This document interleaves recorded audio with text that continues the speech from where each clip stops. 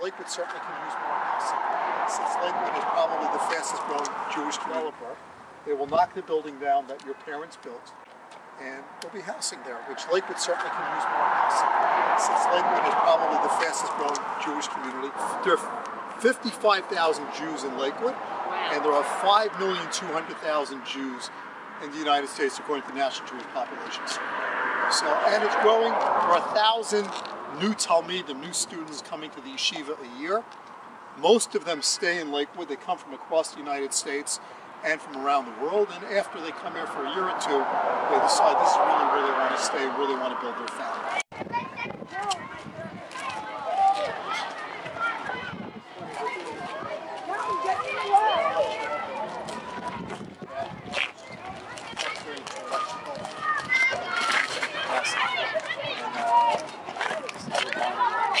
This is totally new. Always stuff. The largest ambulance company in New Jersey is a yeshiva guy, trucking, freight forwarding, customs clearing. They're, they're in every business. Uh, Originally it used to be real estate, but over time they went into everything else. It was like the Greenie, you know, they started, Yeah, yeah, yeah. they sold the farms, careful as you walk.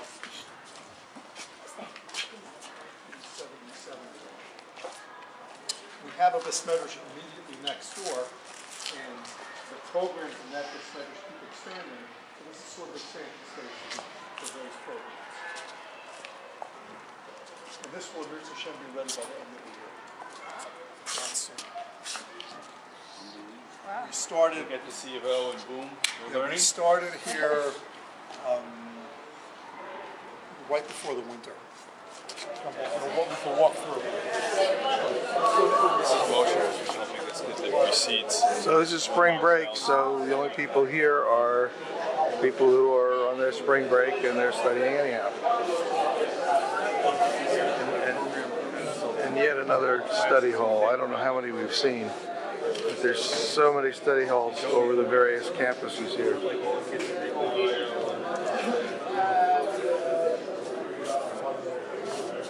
Any different spirit to having everyone? Everyone has its own flavors. I mean, having, a- Everyone in one place? spiritually having everyone in one place? Or I think practically it doesn't work so a thousand kids in one place is a lot of spirit. Yeah, it also doesn't work because, let's say you're learning uh, Gittin, and you want to hear a lecture on Gittin. You want to hear a lecture on, on uh, Kutchin. So if you're all in one study hall, then you're going to have so many lectures at one time, it just wouldn't work. Sorry. Primary collection is right here. Um, Primary lending collection. Across the street behind Base Leo, behind the trailers, is a library where you cannot take out, you can use the sforim inside, but you can't, you can't borrow. And that has, the goal of the yeshiva is to have one of every sefer that exists, so, and it takes years and years, decades to build that up. The solid swarm are there, I wanted the plaque, this plaque to be here because this is immediately next to the library. And this library was dedicated by the Rosansky family, who were originally from Kletsk. So this building really has the original flavor, the closest to what was back then. Started by my grandfather Rav Aaron and finished by my father in sixty-four. The li, this is all brand new. We gutted it and rebuilt it, but this kind of has still, this is called affectionately the Yasham, the old, even though it's probably the newest today in terms of uh, upgrades. So is Pizzah's library here? In the, in the library across the This is street, they've Swarmer across the street. There may be some here. And I always knew the history of Solid Hebrew Day School. I didn't go there, but my sisters did, my brothers did, and I always knew the, and, uh, and of course I knew the Goldstein family, and primarily because on Sixth Street, Seventh Street, and Eighth Street was the Goldstein family. And uh, when I was seven or eight years old, I went into the uh, maybe younger to the lumber yard, and I'd say hello, and it was a Hamish, a warm feeling, which I try to tell my kids that as I'd walk up and down Clifton Avenue, I knew every shopkeeper, the Jewish ones, the non-Jewish ones. Uh, You'd start at the top and go down from uh, the locksmith, John the locksmith, you'd go down to Ross Jewelers, down to the bottom to Monison's Western Auto, and as a kid, you went yourself, you rode your bike, it wasn't a big deal, and you kind of knew everybody. And it was a small Hamish little place. And getting the letter from California from this guy who I didn't know, I had no idea who he was, was brought back some old memories to me. But I didn't do anything about it.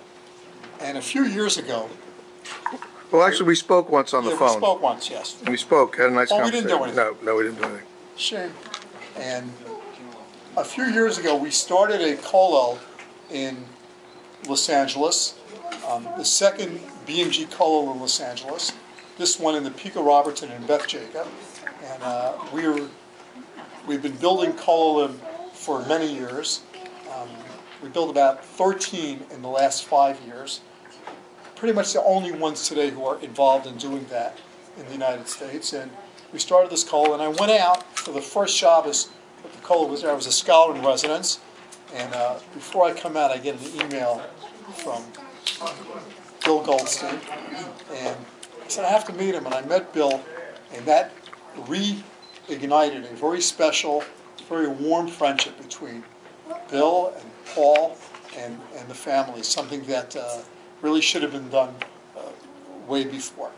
And Bill came out for Rosh Hashanah, Rosh Hashanah, 2007. 2007. Paul came out for Rosh Hashanah, and uh, Bill said, "You got to meet my brother Paul." And we'd already made formed that kesher, and uh, we went to Tasuk together. We met Paul, and um, we had some seudas together, and we went to my brother's little shtibel on Laurelwood and For 14th Mincha.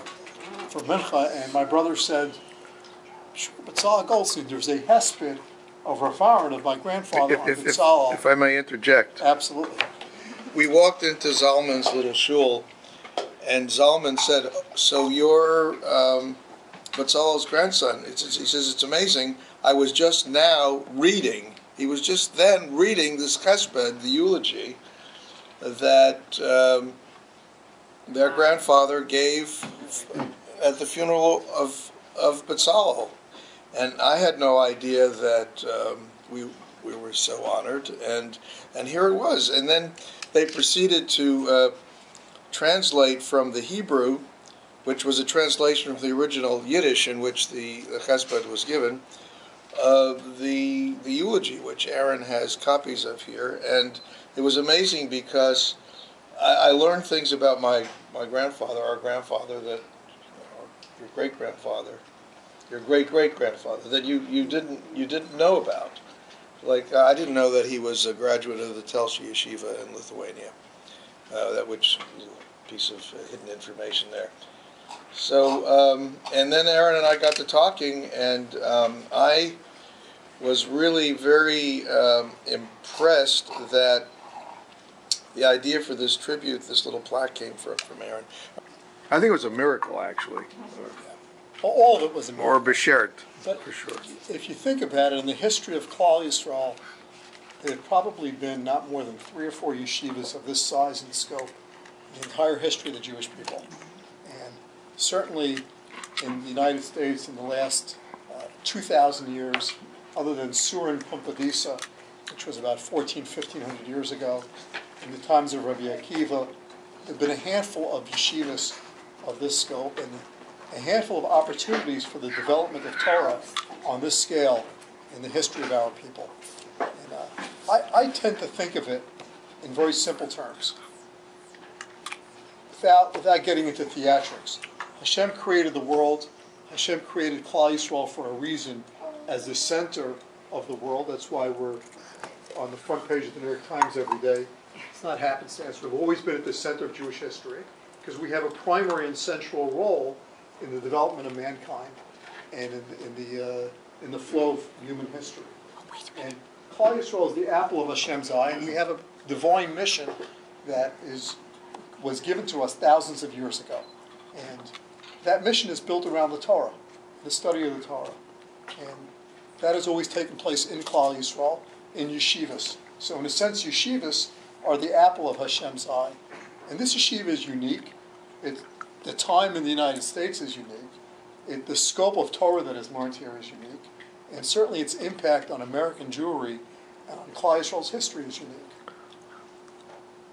The Holocaust was the end of a close to 2,000 year period in Jewish history. The majority of Jewish history took place in Europe.